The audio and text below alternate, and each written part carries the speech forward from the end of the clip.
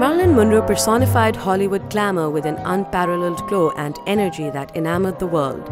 She was born Norma Jean Mortensen on June 1, 1926 in Los Angeles. After a troubled childhood and early first marriage, she began her career as a model, which led to a film contract in 1946.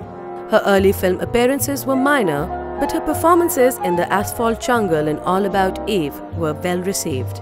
Monroe's imminent success became to materialize immediately after she played the leading part in the musical Gentlemen Prefer Blondes, How to Marry a Millionaire, The Seven Year Itch and Bus Stop. Her biggest hit was Some Like It Hot, which made her a Golden Globe winner for the Best Comedy Actress. Thanks to the huge box office success of these movies, she started to be seen as one of the most profitable actresses in the movie industry.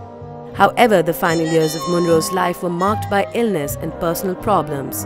And on August 5, 1962, she was found dead in her Los Angeles bungalow with an empty bottle of sleeping pills by her side.